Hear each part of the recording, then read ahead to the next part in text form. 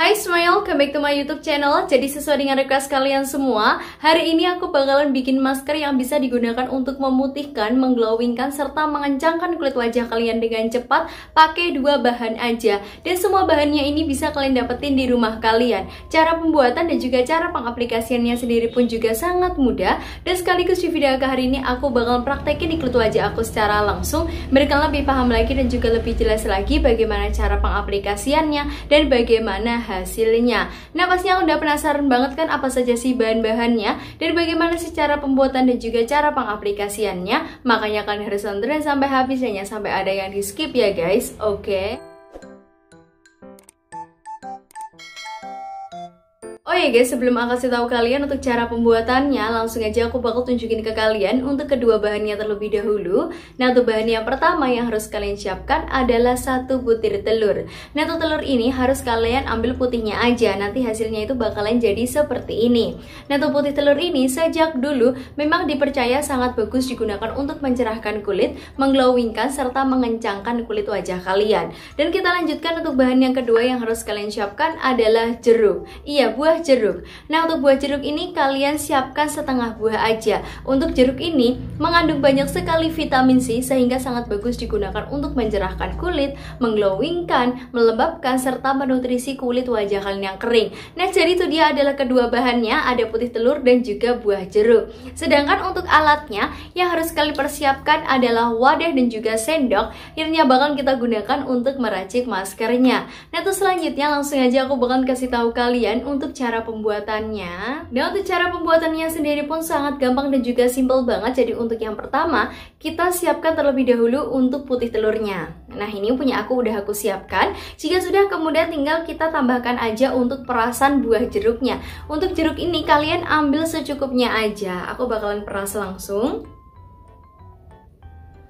Oke, jika sudah kemudian langsung aja diaduk-aduk sampai semua bahannya ini tercampur rata. Dan buat kalian yang tanya, Kak nanti maskernya itu bakalan amis nggak sih Kak? Nggak ya sayang ya, untuk masker ini tidak bakalan amis. Karena apa? Karena untuk masker itu ada campurannya. Kecuali kalau masker itu hanya putih telur aja, itu bakalan amis. Tapi kalau ada campurannya jeruk, ini tidak bakalan amis sama sekali. Jadi tenang aja. Nah, jika semua bahannya ini sudah tercampur rata, nanti hasilnya itu bakalan jadi seperti ini. Dan teksturnya itu menjadi lengket. Nah, jika sudah seperti ini langsung aja kita aplikasikan merata di seluruh kulit wajah kita. Tapi sebelum kalian mengaplikasikan masker ini di kulit wajah, kalian harus memastikan kalau wajah kalian itu harus benar-benar bersih terlebih dahulu. Jadi sebelumnya kalian harus ngebersihin wajah kalian dengan menggunakan milk cleanser ataupun micellar water, kemudian mencuci muka kalian dengan menggunakan facial foam. Setelah benar-benar bersih, kemudian kalian pakai masker ini. Dan berhubung sekarang ini wajah aku itu udah bersih dan aku pun juga udah cuci muka, jadi langsung aja aku bakalan aplikasikan Wow, saat pertama kali diaplikasikan di kulit wajah itu ada sensasi dinginnya gitu, benar-benar enak banget.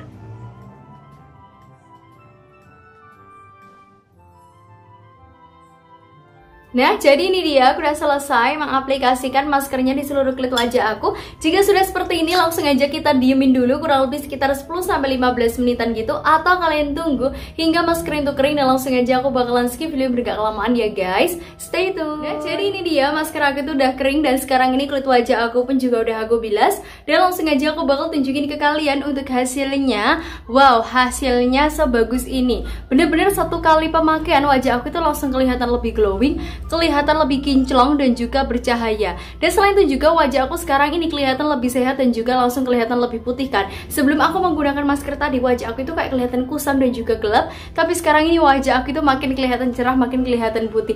Bener-bener glowing banget, sebagus ini hasilnya. Padahal bahannya itu cuma dua, cuma putih telur dan juga buah jeruk aja. Wajib banget kalian cobain dan praktekin ini di rumah. Dan selain itu juga wajah aku sekarang ini bener-bener halus banget, lembut, lembab dan juga sangat kenyal kayak sel-sel kulit mati pada kulit wajah aku itu bisa terangkat. Wajah aku sekarang ini juga berasa lebih bersih dan juga ringan banget. Bener-bener sebagus ini hasilnya. Kalian wajib banget untuk cobain masker aku ini.